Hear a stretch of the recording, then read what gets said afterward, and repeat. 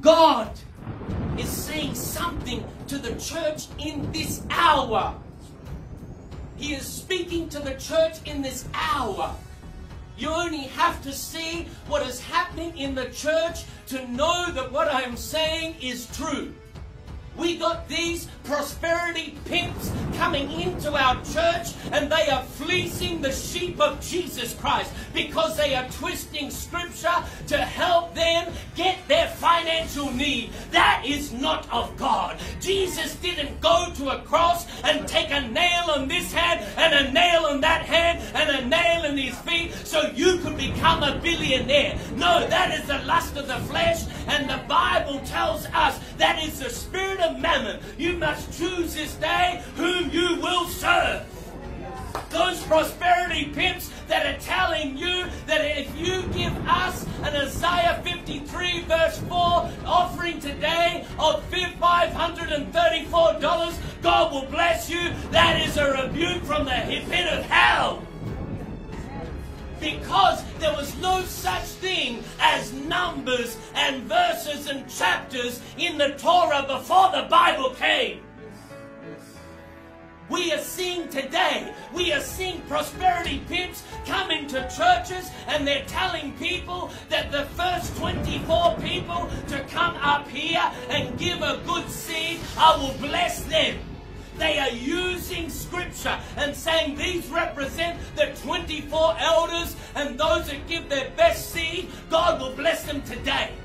We got prosperity pimps that are coming into church and saying to house owners, if you own your own house in this church, put up your hand. Then he says to them, if you give a seed of $500, God will make you a millionaire. That's a lie from the pit of hell and you have been subject to that lie. And the only one that allows that false prophet, that false teacher, that false apostle, that false evangelist, that false teacher from prospering is because you allow it to happen in your churches.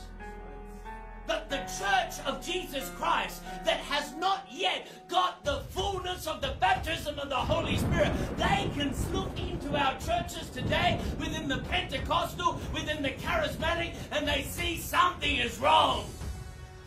People of God, Jesus didn't die on the cross so that you could fulfill lust of the eyes, the lust of the flesh, and the pride of life. He came to give life and life in abundance. It is time for the church of Jesus Christ to awaken. We need those Pentecostal preachers that preach the Word of God in and out of season to rebuke the false moves of the Holy Spirit. We've got a Kundalini coming in the church today that people are manifesting demons and they are saying it's the Holy Ghost. That is a lie from the pit of hell.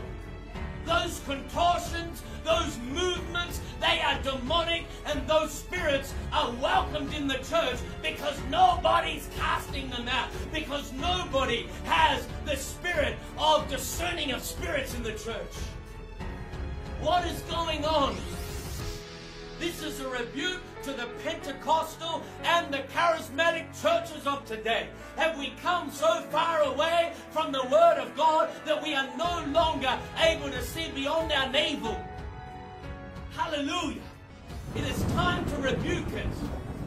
It doesn't matter who that teacher is. They may be a good teacher, but just look what happens around them. Look at their followers. What are they manifesting? What are they doing? God is rebuking the church within this hour. He is saying, Come out from among them and be separated. He's saying, Come out from them. There is a strange fire that is being placed upon the altar, and unless God raises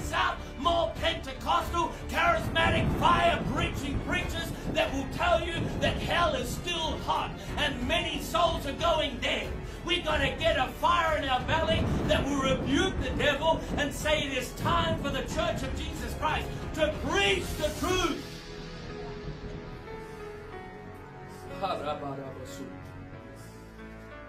It is everywhere today. It is everywhere you go. false prophets.